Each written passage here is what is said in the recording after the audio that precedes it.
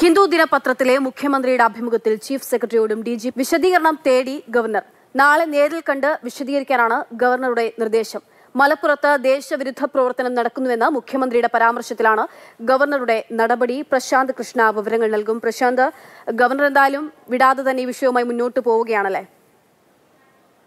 പക്ഷേ ഹിന്ദു ദിനപത്രത്തിൽ മുഖ്യമന്ത്രിയുടെ പേരിൽ വന്ന ലേഖനത്തിൽ മലപ്പുറത്ത് സ്വർണക്കടത്തടക്കമുള്ള ഹവാല ഇടപെടലുകളിലൂടെ വരുന്ന പണം ഇത് ദേശവിരുദ്ധ പ്രവർത്തനത്തിന് ഉപയോഗിക്കുന്നു എന്ന പരാമർശമുണ്ടായിരുന്നു. ഈ വിഷയത്തിലാണ് നാളെ വൈകിട്ട് ചീഫ് സെക്രട്ടറിയോടും ഡി ജി പിയോടും നേരിട്ടെത്തി വിശദീകരിക്കാൻ ഗവർണർ നിർദ്ദേശിച്ചിരിക്കുന്നത്.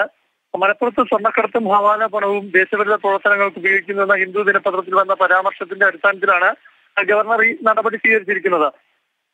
ദേശവിരുദ്ധ പ്രവർത്തനത്തെ കുറിച്ച് മുഖ്യമന്ത്രി മലപ്പുറത്തെ കുറിച്ച് വിശദീകരിച്ചിട്ടില്ല എന്ന് മുഖ്യമന്ത്രിയുടെ ഓഫീസ് വ്യക്തമാക്കിയതാണ്. പിന്നാലെ പി ആർ ഏജൻസിയുടെ ആവശ്യപ്രകാരമാണ് ഇത്തരത്തിലുള്ള പരാമർശം മുഖ്യമന്ത്രിയുടെ പേരിൽ നൽകിയത് എന്നായിരുന്നു ഹിന്ദുവിന്റെ വിശദീകരണം.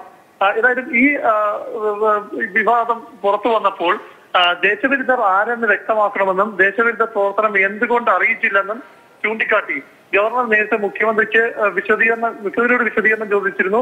ഇത് സംബന്ധിച്ച് ഇത് ഇതേപ്പറ്റി എപ്പോഴാണ് ഇതിനെപ്പറ്റി അറിഞ്ഞതെന്നും ആരാണ് ഇതിന് പിന്നെന്ന് അറിയിക്കണമെന്നും ഗവർണർ കത്ത് നൽകുകയും ചെയ്തിരുന്നു. ഇക്കാര്യത്തിൽ വിശദമായ റിപ്പോർട്ട് നൽകണമെന്നും ഗവർണർ ആവശ്യപ്പെട്ടിരുന്നു.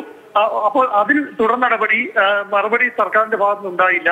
ഈ സാഹചര്യത്തിലാണ് ഡി ജി പിയോടും ചീഫ് സെക്രട്ടറിയോടും ഗവർണർ നേരിട്ട് ഹാജരാകാൻ ആവശ്യപ്പെട്ടിരിക്കുന്നത്. ഇതിനു പുറമെ ഏതാനും ആഴ്ചകൾക്ക് മുമ്പ് പി വി അൻവർ താൻ phone ചോർത്തിയെന്നും A D G P phone ചോർത്തിയെന്നും മന്ത്രിമാരുടെ അടക്കം മുഖ്യമന്ത്രിയുടെ അടക്കം ഫോൺ ചോർത്തിയെന്നുമുള്ള വിഷയത്തിൽ ഗവർണർ സർക്കാരിനോട് റിപ്പോർട്ട് തേടിയിരുന്നു. ഈ ഇതിൽ ഇതിലും സർക്കാർ റിപ്പോർട്ട് ഗവർണർക്ക് നൽകിയിട്ടില്ല.